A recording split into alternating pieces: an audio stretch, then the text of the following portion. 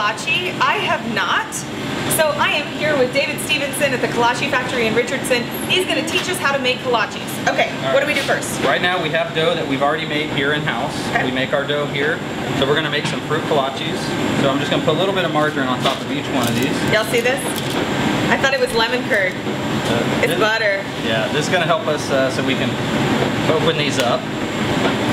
Then Okay. we're gonna take right here, and just kind of, you're gonna smooth that out and make a round pocket in the box. It's gonna be like a wheel. Okay. He's better go. at this than I am. Yeah, and we're gonna do this again. And this Sunday, we're gonna do this about a thousand times.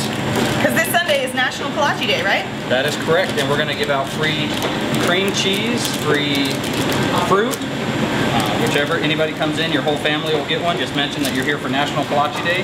Cool. and Everybody will get one. Now look, you're a natural, you've already got them down to the bottom. Do they look okay? Yes, Okay. real simple. So here we have our fruit filling. We have cream cheese, apple, and cherry. So we're just gonna take a scoop of each one of those, just put it right in there. Okay. That cream cheese is my favorite. Yes, I love the cream cheese. We make this here in house also. Now I want to talk about kolaches. Um, tell, tell me a little bit about the Texas history of, of Czech families who came here and started making kolaches for us. Yeah, the original kolaches started over, you know, centuries ago. We don't even know the, how long they've been around.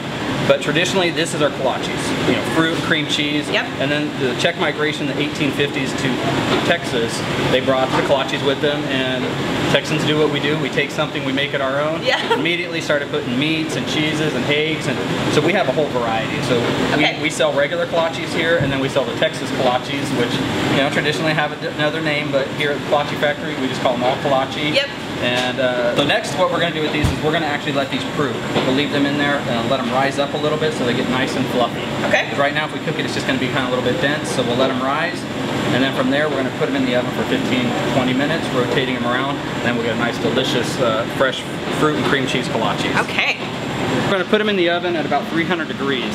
They'll be in there for about 12 minutes. Then we're going to take that out and rotate it around, cook the other side. And then when they come out, as you can see, these are a lot bigger than the ones we had made earlier. Yeah, look at this nice golden brown. Yeah.